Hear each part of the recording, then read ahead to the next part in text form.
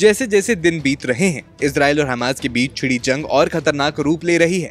Israel के Gaza पट्टी पर किए गए हमलों में अब तक हज़ारों लोगों की जान जा चुकी है। इसी बीच रूस ने बड़ा बयान देते हुए कहा कि गाजा पर इसराइल की बमबारी कानूनों के खिलाफ है।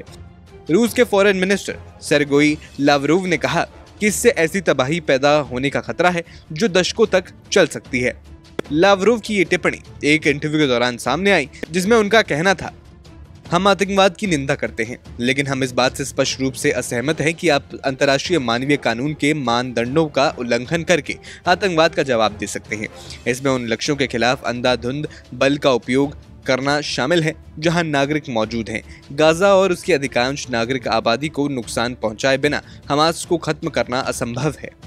इतना ही नहीं, इस बातचीत के दौरान लावरूव ने चेतावनी देते हुए आगे कहा, अगर गाजा को नष्ट कर दिया जाता है और 20 लाख निवासियों को निष्कासित कर दिया जाता है तो ये दशकों तक तबाही मचाएगा। नाकाबंदी के तहत आबादी को बचाने के लिए इसे रोकना और मानवीय कार्यक्रमों की घोषणा करना आवश्यक है। वहीं ये बयान देने के साथ ही रूस ने तत्काल युद्ध विराम का समर्थन किया। लावरोव ने कहा, रूस इसराइल के साथ ही संपर्क में है। हम इसराइल के साथ पूरी तरह से संपर्क में हैं। हम एक शांतिपूर्ण समाधान खोजने की आवश्यकता के बारे में संकेत भेज रहे हैं।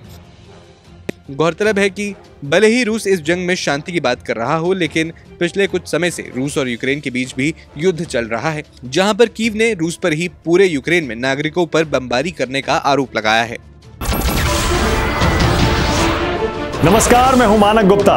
अगर आपको हमारा ये वीडियो पसंद आया हो तो इसे लाइक और शेयर ज़रूर करें। और हाँ हमें सब्सक्राइब और फॉलो करना ना भूलें। ताकि आप देश और दुनिया की कोई खबर मिस ना करें। तो जुड़े रहिए हमारे साथ और देखते रहिए न्यूज़ 24